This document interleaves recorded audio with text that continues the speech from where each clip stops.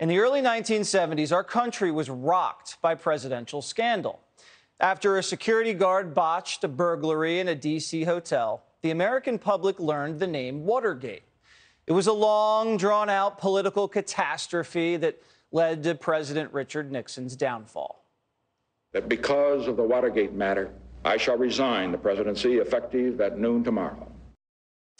While Nixon wasn't the man behind the burglary, he was involved in the cover up. And as we all know, the cover up is worse than the crime. Back then, an enterprising press corps held our political leaders' feet to the fire. Bob Woodward and Carl Bernstein exposed the president and his role in the containment of the scandal. Must have been nice. The media actually trying to hold the president accountable for the actions of those around him. Now, fast forward 50 years to today, and we're looking at a drastically different media landscape. Rather than cover the crimes of political players, they're doing everything they can to cover them up. Because we're witnessing today one of the biggest containment operations in American history a censorship campaign to cover up for one of the most corrupt first families in American history and to sway an election. Back in October of 2020, the New York Post gave us our October surprise damaging emails, text messages, and photos of Joe Biden's son, Hunter, striking up deals and raking in millions of just dirty, sketchy foreign cash when his father was vice president, using Joe Biden as a cash register for the family. Hunter Biden was the bagman, and he put our national security at risk at the taxpayer's expense. And when those leaks out of the Hunter laptop came out, we covered them. We brought you the facts. But the media, big tech, along with the Biden campaign, and of course the Washington swamp just swooped in and tried to cover it all up. Hey, they had an election to win. But now, Hunter could be on the verge of being indicted for tax fraud and maybe money laundering and illegal lobbying. Two weeks ago, the New York Times admitted that Hunter's laptop was in fact real. This came after the media spent over a year spinning the laptop as Russia disinformation. The Washington Post, at the time, even called the thing the Hunter Biden non scandal. But it looks like things are changing today. In a bombshell release, the Washington Post joined the New York Times in authenticating Hunter's laptop. Not only did they acknowledge the laptop from hell is real, but they confirmed what we've been saying all along. The Biden family, Joe's son and Joe's brother, were raking in millions of dollars from Chinese tycoons tied to China's military and tied to the Chinese Communist Party, confirming they were paid almost $5 million by a Chinese energy conglomerate, CEFC, that was acting as the arm of China's Belt and Road Initiative, an insidious and corrupt thrust into the world and a threat to U.S. national security, proving that dirty Chinese money went directly into bank accounts owned by Hunter and Joe's brother, James Biden. The Washington Post even broke it up for us like this CEFC, China Energy, paid $3.8 million in consulting fees to Hunter and Jim Biden. What were they doing to earn this money? Nobody knows. It was basically a grease job. These Chinese guys were so shady, American intelligence put one of them under FISA surveillance for bribing African leaders and helping Iran evade U.S. sanctions. When this shady guy, Patrick Ho, got popped by the feds, the Chinese wired Hunter another million bucks for what? To be his defense attorney. Wait, but Hunter isn't a defense attorney.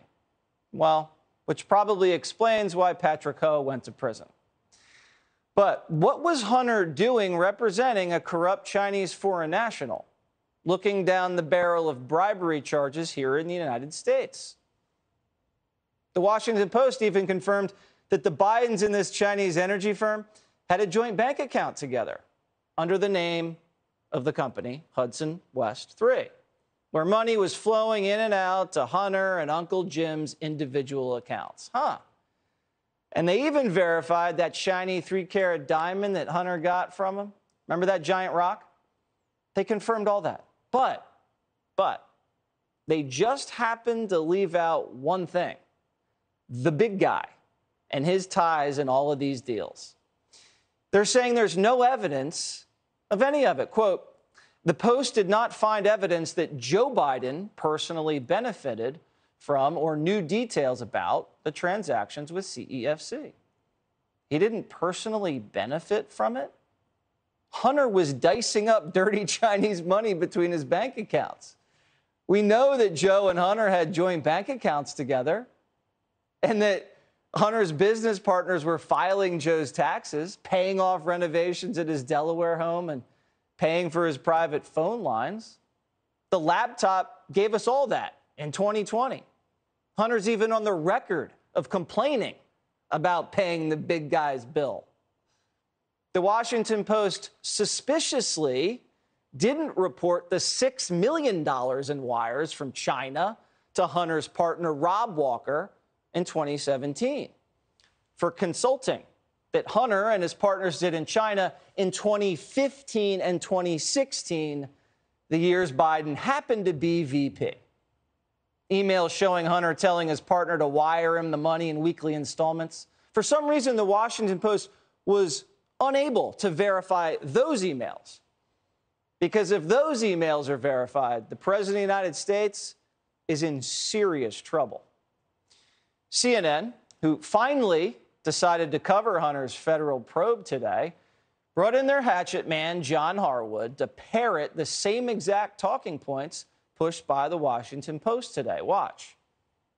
Until you make uh, someone makes a nexus between what Hunter Biden has done and official activities of Vice President Biden or President Biden, it's uh, a not pretty picture but it's not really uh, of uh, much public import in terms of the policy of the United States or the administration of the government. But so far, there is zero evidence that Vice President Biden or President Biden has done anything wrong in connection with what Hunter Biden has done.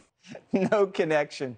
Since CNN and Washington Post are just catching up on the news from 2020, maybe we should point them to what Hunter's former business associate, Tony Bobulinski, had to say.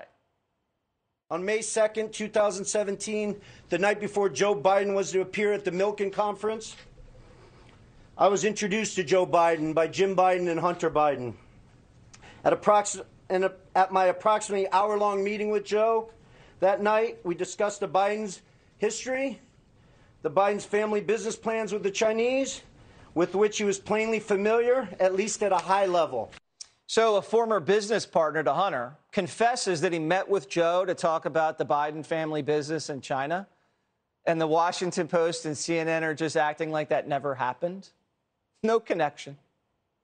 Doesn't all this seem a little weird to you? The legacy media didn't bother to cover Hunter's laptop in any serious way for 17 months, but now, all of a sudden, the New York Times, the Washington Post, and CNN are all able to authenticate some elements, just some, found on Hunter's laptop? And isn't it strange that none of them can figure out how to verify any of the evidence that implicates Joe Biden? Hmm, how convenient. The people who called the laptop Russia disinformation now suddenly want you to trust them when they tell you, yeah, Hunter could be in some trouble, but Joe's not the big guy. No 10% for him. They're still denying there was ever smoke while standing in the middle of fire. And it's not just the media, the FBI looks like they're in on it too. How else would you explain the FBI just miraculously misplacing Hunter's laptop? You are the assistant director of FBI Cyber. I want to know where Hunter Biden's laptop is. Where is it? Sir, I don't know that answer. Now, you're telling me right here is that as the assistant director of FBI Cyber, you don't know where this is after it was turned over to you three years ago. Yes, sir, that's an accurate statement. so you have a laptop with damning information on the first family, and no one knows where it is? How's that happen?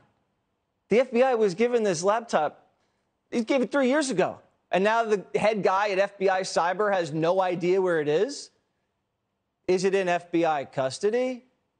Or is it with the U.S. Attorney's Office in Delaware? Did you guys make a copy of it? This is starting to smell like one giant containment operation. Hunter might be charged, but it's obvious that they're trying to wall off the president from this, keep Joe from being exposed. Either they just don't want the big guy to go down, or they want to hold dirt over Biden, use it as leverage, twist his arm, so maybe he doesn't run again in 2024. Whatever the reason is, it's clear as day. Joe Biden is compromised. Hey, Sean Hannity here. Hey, click here to subscribe to Fox News YouTube page and catch our hottest interviews and most compelling analysis. You will not get it anywhere else.